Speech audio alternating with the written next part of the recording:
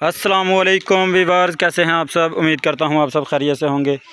जी, आज मैं आप तमाम दोस्तों के लिए लेकर आया हूँ मिल्लत का मैसी फर्गोसन 2009 मॉडल तीन सौ पचासी, जो कि आप तमाम दोस्तों को पता है कि ये हाफ़ परकन में ट्रैक्टर आया है और बहुत ही पायदार और बहुत ही ज़बरदस्त चीज़, तीन सौ पचासी, दो हज़ार नौ मॉडल। जी, आपको आज ये गाड़ी बर फ़रोख्त है, इसका रिव्यू करने का मकसद इसलिए है कि ये गाड़ी सेल करनी है। अगर कोई भाई इसे ख़रीदना चाहता है तो वो ख़रीद सकता है। जी चेक करें। इसका ब्लॉक चेक करें ब्लॉक जो होता है। परकन, ये गाड़ी हाफ़ परकन में आई है। इसकी ये जैनवन शो है। चेक करें। तकरीबन जो शो का रंग, चौदह आने बन जाता है, अगर आप देखें गाड़ी को। और नीचे से भी जो है ना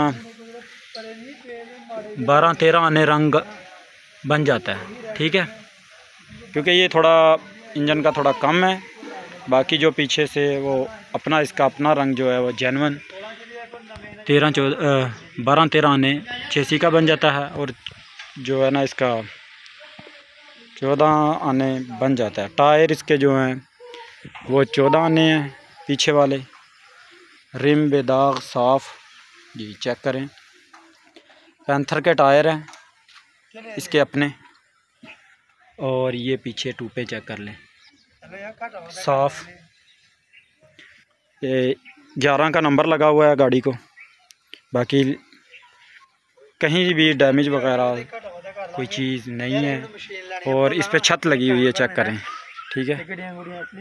इसके जो मरगाट हैं वो चेक कर लें। साफ़ हैं अपने। ठीक है। और ये टायर। ठीक है। और ये इसका आगे का डैशबोर्ड चेक कर लें। ठीक है। और ये गाड़ी है बर फ़रोख डिमांड इसकी तेईस लाख रुपए है। लोकेशन इसकी जफ़रवाल है। अगर कोई भाई इसे ख़रीदना चाहता है तो वो ख़रीद सकता है।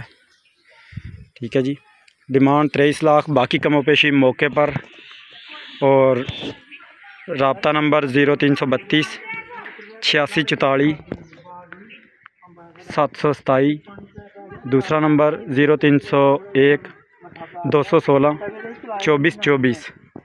ये इसका रबता नंबर है।